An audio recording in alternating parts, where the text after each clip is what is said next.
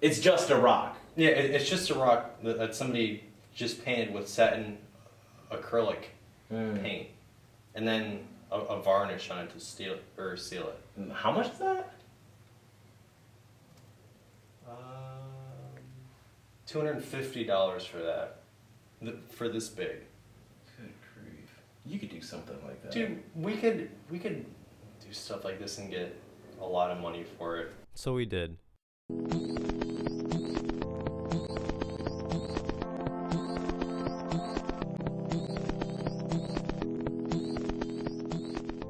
The next week, we gathered supplies from really generic cheap places like thrift stores, hobby stores, and even out of the trash. Where did you get this thing? I found it in the trash just right down the street. I, I don't know. I uh, I kind of feel bad for doing this. I wouldn't really want to be left out in the trash, and then written YOLO on. But I, I don't know what this is into. We pretty much just made what we'd seen on the internet and TV and stuff. None of the pieces were really original. It, it went by really well. It was, it was really fast. We, we got most of it done pretty easy. It only took like two or three hours. All we needed was a place to showcase it.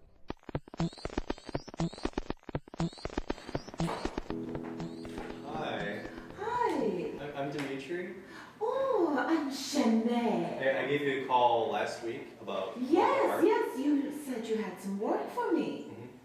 I'd love to see it.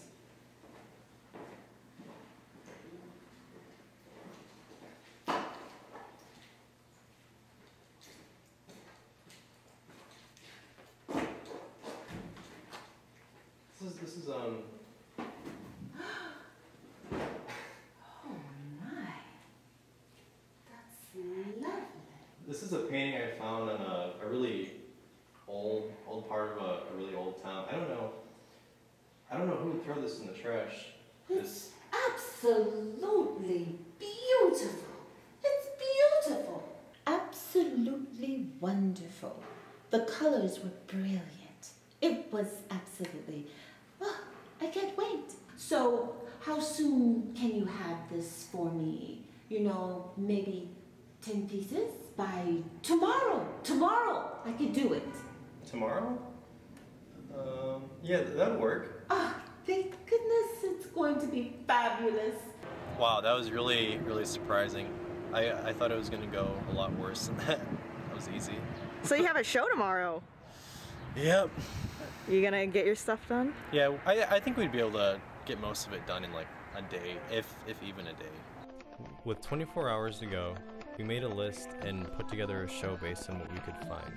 That's that's how you know there's weird shit in McDonald's food.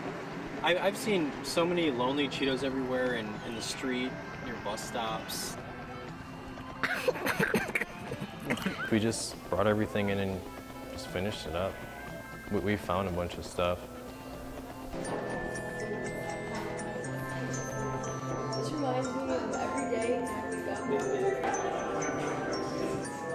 It for sale?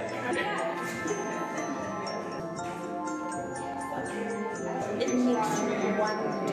It, it just It, it's, it's funny how many people are like flipping their yeah over this. I fell in love. one of the most creative like uh, shows that I've been to recently. It almost moved me to tears, honestly. I think all the pieces are really coherent and relevant to this day and age that we're living in. It's insanely creative and like I really love the social commentary that like fits into every piece. Or it's like nods, I think, to other neo-expressionists like Jean-Michel Basquiat and all these other influences that I can really see in his work. So what did you learn from this whole experience? Basically, how how people can be so like gullible to believe if you label something as art. As soon as you convince them that this is something with value and intellectual depth, they're they're really quick to just latch onto it and try to embrace it and convince themselves like it's almost subliminal.